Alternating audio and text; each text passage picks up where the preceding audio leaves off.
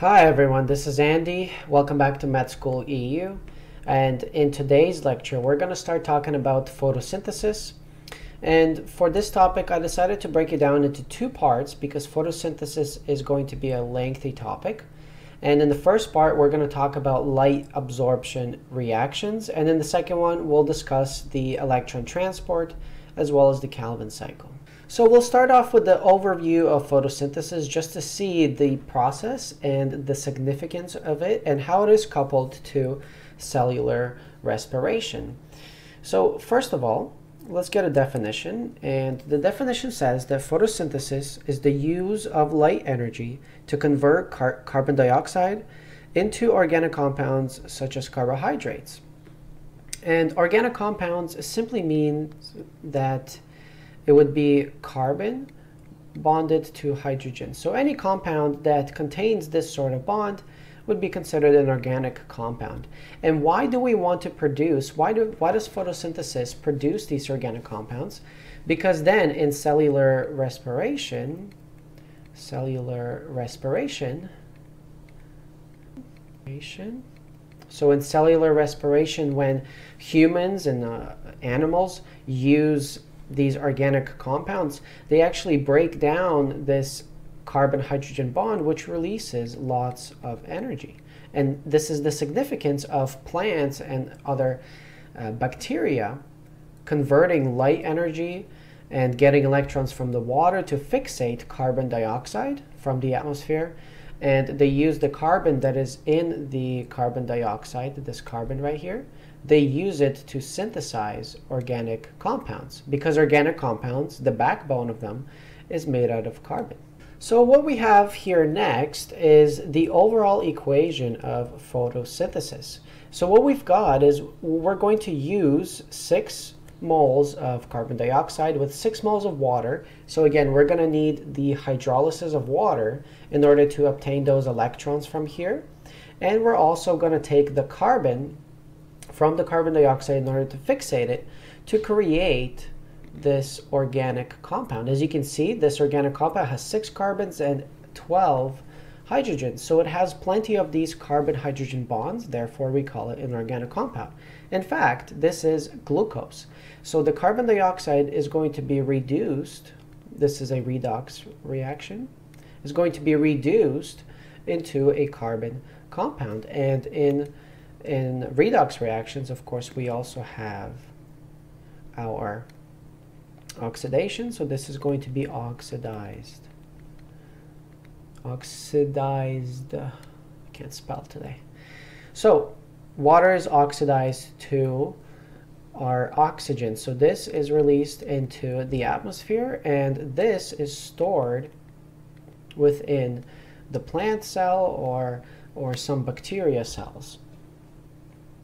Now, cellular respiration here is the process that it's in reverse. So we, we take oxygen, we breathe in oxygen, we eat the, the organic compounds, and our products are going to be water and carbon dioxide. And as well, of course, we're going to get lots and lots of ATP because of the breakdown of these carbon-hydrogen bonds. Now looking at the overall uh, reaction of photosynthesis and, and where it occurs. So let's label this the chloroplast. Chloroplast. As we know, chloroplasts are the photosynthetic apparatuses in plants. So plants have these specialized structures that do not exist on animal cells uh, we call them chloroplasts. They have three membranes. So they have the outer, the inner membrane, just like mitochondria, but they also have these thylakoid membranes. In these thylakoid membranes, which we will discuss in great, great detail in this video, we have something called light reactions. And these light reactions are, to, the basis of these light reactions is that they take sunlight and a photon of energy, as we call it, and they're going to use the electron from water because water is going to be oxidized and the electron will be taken up by pigment molecules and this photon is going to excite the electron and create NADPH and ATP as its as its products. Now this ATP and NADPH will be used as energy in order to fixate carbon dioxide from the atmosphere and create our organic compound right there. Now the byproducts, ADP and inorganic phosphate plus the NADP plus will then be used again in the light reactions and the whole cycle will continue to rotate as it's shown here. Now what we're going to take a look at is the details of the light reactions. So let's discuss the photosynthetic apparatus. Where do these light reactions occur and where does the organic compound made?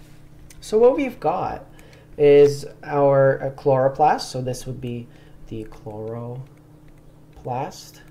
of course, is our photosynthetic apparatus. And uh, if this was a leaf and it has uh, cells, of course, on the surface of it, now these cells, so if we have a cell here, let's draw it on this side. If we have a cell here, and of course the chloroplast is kind of like that, and it has multiple chloroplasts. And what these cells actually have is they have these structures on the membranes in order to do the gas exchange because we need to allow carbon dioxide from the atmosphere to come into the cell, the CO2 to come into the cell, and the oxygen to exit the cell. Because we are producing oxygen within these chloroplasts, and we need carbon dioxide in order to run the photosynthetic apparatus. Now, how is it done? Well, it's, it's completed, this gas exchange is completed by structure called stomata. So there we go. We're going to get stomata to uh, all of these little openings within the membranes. They're called stomata, and they're going to go through the gas exchange to let in our gases and let out gases that we don't need for the photosynthetic apparatus. Now let's get into labeling our chloroplast. So we have the outer membrane, so outer membrane, We've got our inner membrane, just like the mitochondria. We have the stroma, and stroma is basically the the cytosol of the organelle. So if if we have the cytosol of the cell, the inside of it, that's it's called cytoplasm.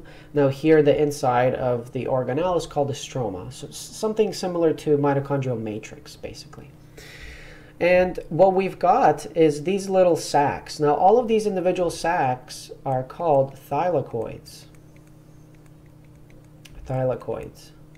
And thylakoids, you, you've got the thylakoid lumen, uh, and thy thylakoids are stacked in these um, in this sort of nature, and this would be called a granum. So the stack of thylakoids is called a granum. And the connection between one granum and another with the thylakoid is called a lamella. So what's important and what do we need to know? Well, the light absorbing reactions occur in the thylakoids, in the thylakoid membrane more specifically. So here we can say the reaction uh, light as well as the uh, electron transport. Now, once, once all of this occurs on the thylakoid membrane, the NADPH and the ATP will be moved over to the stroma, and this is where we get our Calvin cycle that will uh, produce the most basic organic compound called G3P, which will then be used to make our organic compounds within the stroma. Before we dive into the thylakoid membrane and actually take a look at the electron transport, we must understand how the atomic structure works uh, when an electron is in its excited state. So here I've got an atom, this is the nucleus, it, it's got its orbits where the electrons are located in. Now what happens is if, if a photon of light, so sunlight, hits directly onto this atom, the electron will be displaced from its ground state. This would be the ground state. and it will be moved up to an excited state because it moves to a higher orbit. And if it's further away from the nucleus, it's got more energy. Therefore, it's in its excited state. Now, there's going to be three things that could happen afterwards. One thing would be that the electron will go right back into the ground state. It will return back to the ground state, and the energy will be released as heat. So here we got heat or light. So we would see a pigment of light or we would see heat coming off because the electron simply returned back to its uh, normal ground state and the energy will just be given off into the atmosphere as, uh, as heat. Now another scenario, and this is what's extremely important for us to understand, is that the, the electron will return back to its ground state. However, the energy will not be simply released as heat. The energy will actually be transferred over to a pigment molecule. And a pigment molecule is going to receive this energy and it also has electrons. So it's going to excite this pigment so it, it would have higher energy state of the pigment. And we will see this. This is actually what occurs within the photosynthetic apparatus on the thylakoid membrane. And finally, the last scenario that can occur with our photon is that the electron is going to be completely misplaced. So once it goes into a higher orbit, higher energy state, it's going to be completely misplaced out of the atom and it will be the electron will be accepted by another electron acceptor. And both of these processes occur within the thylakoid membrane, and more specifically, they occur on the photosystems that we're going to discuss in the next slide. So it's important to note that in photosynthesis, and specifically more in plants, light is absorbed by chlorophylls and carotenoids. So, so these are pigment molecules that give off their natural colors like green, they're red and yellow. For the exam, it's going to be important to know the, the colors that would be absorbed by these pigments. So here we have the carotenoid accepting the wavelength, so this would be in nanometers. Uh, nanometers. So the wavelength of about 475 nanometers right here will be accepted by carotenoids more prominently. And they would give off the this light blue color right here. And all of the other energy levels so for example if a photon of light comes in at the energy level of 650 nanometers from sun it's not going to be absorbed by the carotenoid. It will be absorbed by chlorophyll B and chlorophyll A molecule now if we're looking at the chlorophyll A it's most prominently going to be on about 670 nanometers right here and about 425 nanometers right here. And finally, chlorophyll B will, will have the colors right here with a little bit darker blue as it will absorb this sort of energy the most. And finally, let's discuss the real photosystem that occurs on the thylakoid membrane. So this phospholipid, this bilayer is going to be the thylakoid membrane. And within this thylakoid membrane, we're going to have these giant protein molecules that uh, are called photosystems as they are able to absorb photons of light and use that energy in order to get electrons excited and electrons accepted from water molecules. So here what we've got is our water and we'll see what happens as this water is being oxidized. So let's, uh, let's go through some of the labeling.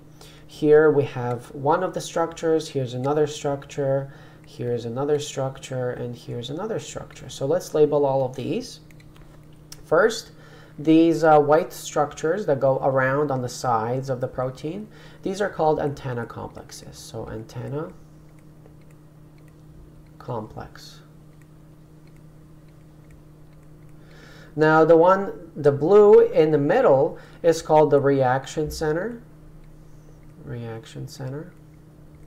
And uh, this, this one right here, this big pigment, is going to be our special, special pigment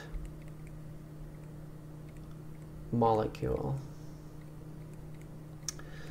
And finally, the, the, the last structure right here is going to be called the primary electron acceptor. So primary electron acceptor.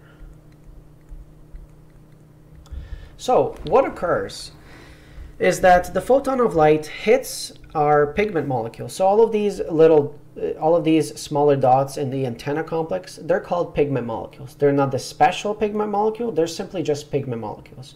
So, and as we have seen in the previous slide, pigment molecules are able to accept energy from a photon. Or, or if, if an electron is being excited, it's going to absorb the energy from that electron as it returns back to its ground state.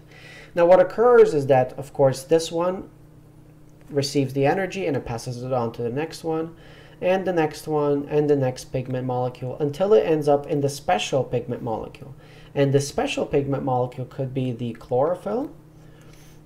So let's label it chlor, chlorophyll or carotenoid. And this special pigment molecule is going to go through something very unique as the water is going to be hydrolyzed in, into oxygen and hydrogen ion. And as this oxidation occurs, the electron from water is going to be transferred over to the special pigment molecule, our chlorophyll.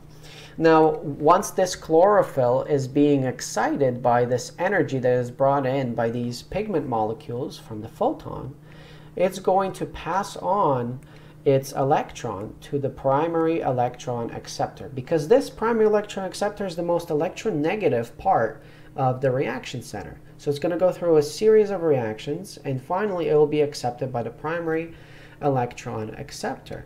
And finally this primary electron acceptor will pass on the electron to the next photosystem molecule. And we are going to see where all of these electrons are being passed down in the photosynthetic electron transport. So this concludes the lecture for this video as we are have completed the light reactions and the light absorption within photosynthesis.